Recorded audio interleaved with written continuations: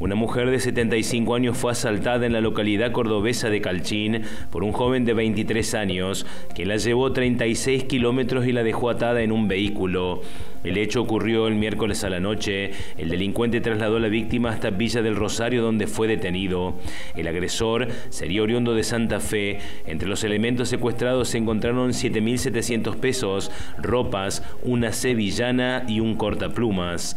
La víctima llegó en la noche del miércoles a su domicilio cuando se encontró con el individuo que tras amenazarla con un arma blanca le pidió dinero y luego la ató de pies y manos.